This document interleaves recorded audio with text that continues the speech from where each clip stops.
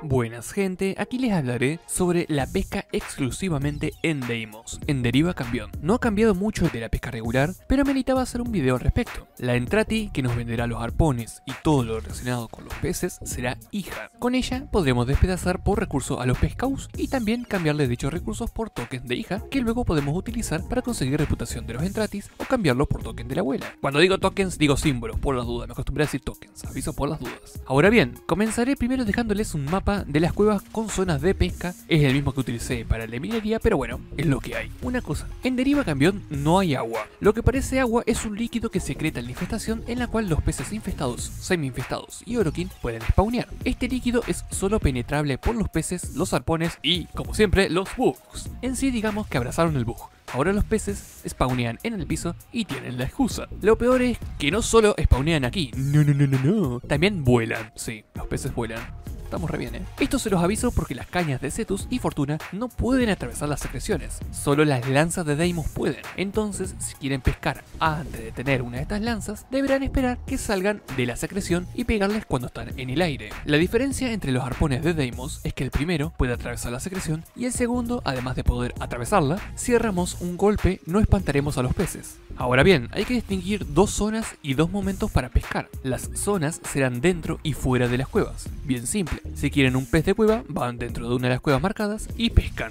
Si no, pescan fuera y ya. Hablaré un momento de las carnadas antes de dejarle el listado de peces y aclarar lo de los momentos para pescar. Primero, las carnadas. Para los que no saben, en Campion Drift tenemos dos momentos, por así decirles. Mientras prevalece Bome y mientras prevalece Faz. Para saber cuál está activo, en un momento dado, pueden fijarse en el mapa o simplemente mirar para arriba. En cada cambio de vigilia, podríamos decir, o Bome o Faz pierde y es derrotado por el otro. Los pedazos del derrotado son desparramados por Camion Drift y nosotros podremos recogerlos y utilizarlos como carnada. Ahora en pantalla les dejo el listado donde diferencio la rareza, qué drop especial da cada uno y además qué carnada y bajo qué vigilia son pescables. Hay que aclarar que dos de los peces, el Aquapulmo y el Mixostomata, son los baiteables con unas carnadas específicas que vende hija. Mientras le muestro el listado comentaré que el baitear un pez parecería que sin importar si o Faz están activos, el utilizar las carnadas atraerá a los peces buscados, así que el dato de bajo qué vigilia aparecerá qué pez solo es útil si no utilizarán carnadas. En los listados solo puse los recursos raros de cada pez, no he puesto los que comparten con la gran mayoría como puede ser el caso del tumor infestado benigno, el sistema tubular de branquias o la vejiga de fermento, porque estos son tropeados por muchos peces y tarde o temprano se estaquearán con ellos al despellejar pescaus random.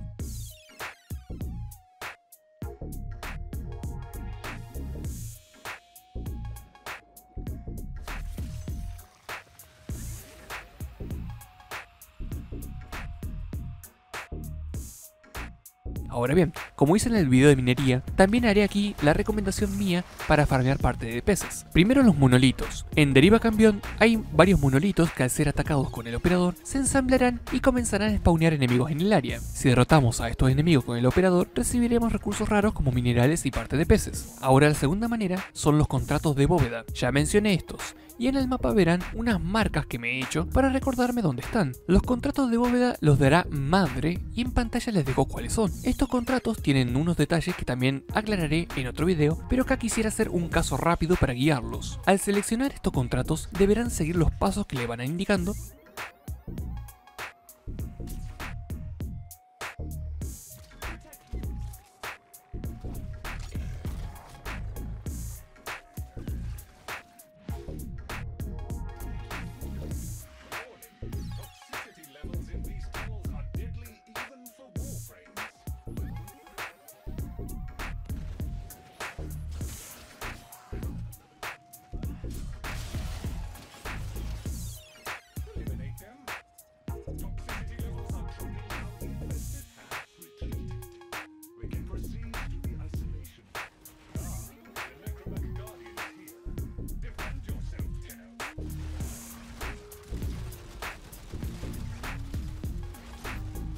y al terminar el tercer paso, digamos, el derrotar a los Necramech, deberán buscar una puerta inmensa en la zona que tiene unos cristales reactivos en el medio y cuatro pilares alrededor. Atacar el pilar del centro con el operador invocará a Otak y Lori. Deberán defenderlos mientras activan cuatro cristales por la zona y regresan a la puerta. Una vez regresan a la puerta, verán unos símbolos que también estarán en los pilares que tendrán cerca. Deberán activar esos pilares en el orden que indica la puerta. Recomiendo activarlos con la E del operador para no cometer errores.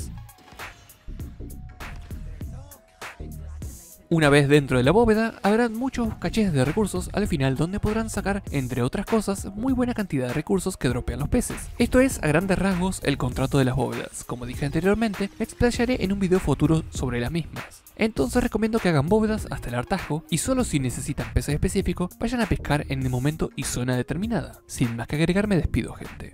Hasta luego.